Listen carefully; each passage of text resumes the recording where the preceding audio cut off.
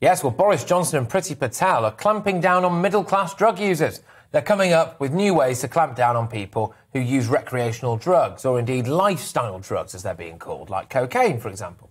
Some of these new measures include encouraging anyone caught with an illegal substance to go on a drug awareness course, and if they refuse, they may have their lives interfered with. Hmm. So they might have their passports taken off them or their driving licenses. This is on top of the fact that just simply by getting caught with an illegal substance and getting a criminal record, they might not be able to find another job or travel to countries like America and Australia. Apparently, Priti Patel is also considering creating a system that, whenever the phone of a drug dealer is confiscated, every single number saved in that phone gets a message from the police.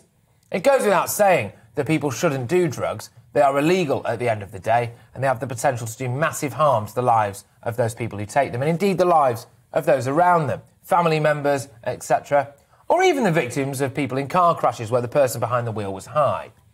But this is absolutely ludicrous, in my take anyway, from the government. Our Home Secretary had this to say about recreational drug users. Their actions are directly leading to an increase in violent crime and people dying, but they pay no price. That will change. What about slashing police numbers by tens of thousands and barely replacing them? What about preoccupying the police with draconian lockdown laws instead of instructing them to clamp down on knife, gun, and other forms of violent crime? What about the destruction of child protection services so children who are flagged up as being vulnerable to gang crime simply aren't looked after? Boris Johnson said that middle class drug users will now have nowhere to hide. Well, I think there's a potential anyway that they do have somewhere to hide. Parliament.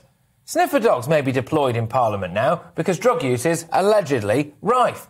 According to reports, traces of cocaine were found in 11 bathrooms on the parliamentary estate. These included bathrooms close to the private offices of both Boris Johnson and Priti Patel.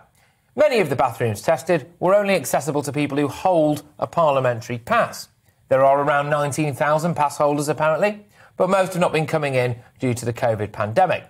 And now people are coming forward to reveal what they call, anyway, a cocaine culture in Parliament. One person said, I've seen an MP openly snorting cocaine at a party. One said as well that FOI requests have previously revealed that two drug dealers were arrested and apparently 13 people were detained for drugs possession on or around the estate last year. So, here we go again. Is it a do as I say, not as I do from our ruling class? We have had it, haven't we, with the coronavirus hypocrisy? There are still rumblings that there may have been Christmas bashes in Downing Street whilst we were all kept apart from our families. I think most people would rather the heads of criminal drug gangs and the violent thugs they send out onto the streets to do their bidding were arrested and charged, not someone called Paul who maybe dabbles once or twice a year at a party, who had his life ruined by a new policy, potentially dreamt up in a building where there are strong allegations that drug use is absolutely rife.